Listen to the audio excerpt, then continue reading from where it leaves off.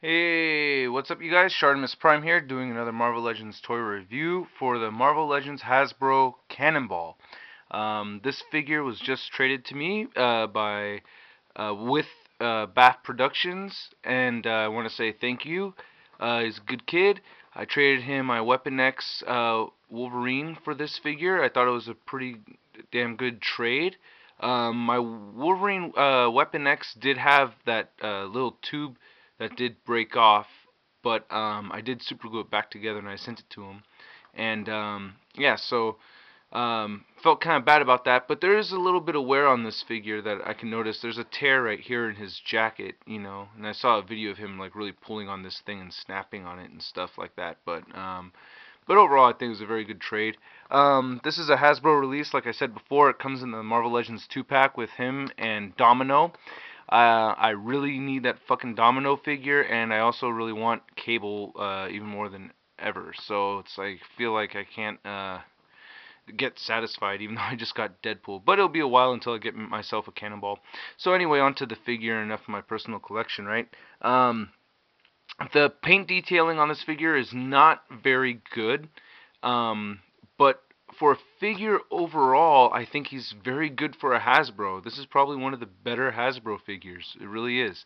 Um, there's a lot of um, there's there's no detailing anywhere throughout the figure as far as um, color goes. Okay, like as far as like adding shades of black or anything like that. Um, the only part that actually does have anything that anything that resembles that is the uh, is the hair over here. So there is a little bit of dirty blonde mixed in there. So I think that's I think that's cool. Um, but he does consist of basically four colors. He has this um, this purplish, bluish purple, um, the brown, silver, and white, and none of which have any detail involved whatsoever. So there's not, and he does have pegs in the bottom of his feet. I always try to look out for that. But uh, I have a special type of pose for this figure, and um, usually don't reveal a lot of. Uh, I, I, don't really get into detail about like my uh, individual or my like my special effects. You know what I mean? They're not real special effects, but you know with my poses. So I'm going to show you guys something that I think is very cool. My dorky ass just spent a half hour making it, so I have a my own prop for this guy, and I'm going to show it to you at the after I'm done uh, reviewing this thing. Hopefully I'll have time. But um, so anyway, um one two two major noticeable things for me on this guy. Uh, first off, this thing's made out of this rubbery. It's like kind of like Storm's cape type of material, very flexy type of material, which I thought was kind of funny because I don't know why they would want to do that. It's just so weird to me. Like, why would you want to make this made out of that shit? It's just kind of weird. Um, not that I have a big problem with it, besides this little bit of a tear right here, but you know, it's kind of awkward. Now it's only this section that has it. So this lower torso part has none of it. It's just this upper section. This is plastic on the white and it wraps around over here and everything. Okay. Second thing I noticed that I really don't like about the figure is that his biceps are extremely tiny. There is no super no superhero should have you know skinny ass fucking arms like this. This is just way too scrawny looking. It looks fucking weird. I mean his biceps are are skinnier than his forearms. It's like true Popeye shit. It's weird. So yeah, so those are the only you know those are the two big noticeable things I, I got from this figure.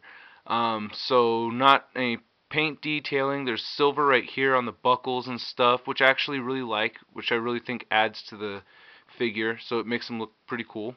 Um, the articulation is is okay, pretty standard. Um, I mean, my only complaint about the articulation really is that I wish the head could tilt back more. It doesn't move much at all. This is as far back as the head goes. So if you want him in his like flying pose or something, you gotta, you know, you have to go like that. Just basically turn the torso up, and the head doesn't even really move down. It just tilts up a little bit. Doesn't really move down at all. That's him looking. That's as far down as he'll go, which is basically just looking straight. Uh, the he has dual shoulder shoulder joints, so it's like these back joints mixed with the shoulder joints. He has this tiny little ball joint right there. He could spin around and everything. Double jointed elbows, forearm joint, wrist joint moves up and down. Fingers move together as a clamp, you know. And same thing with the other side. He has the waist joint, torso joint, which I probably just said two seconds ago. Um, ball joint for the leg, moves front and back nicely. Um, double jointed knees, and this is probably the first Marvel Legend where I really noticed that he has actual like these rivets inside the knee joint right here. Can you see that? I've never really noticed that. And I don't think that's really that cool. but um, you can actually see it's it looks like gears. So that's the first time I've seen that in in this type of figure.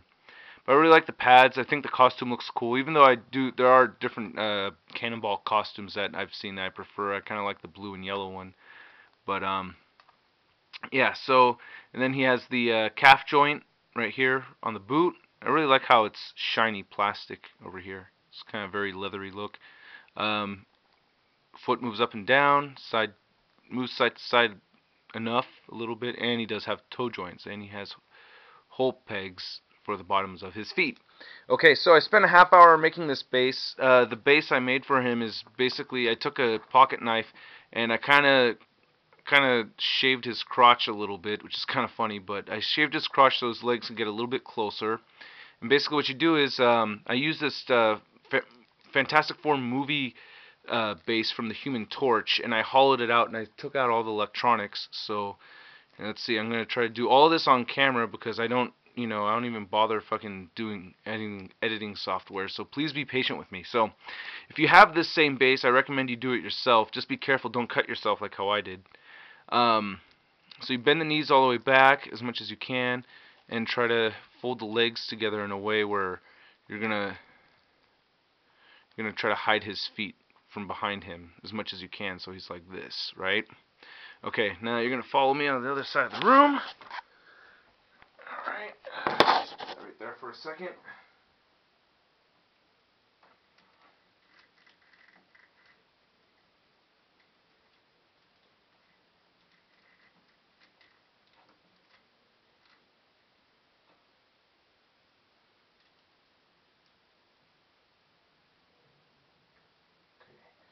It's not the best time, best way I ever set him up.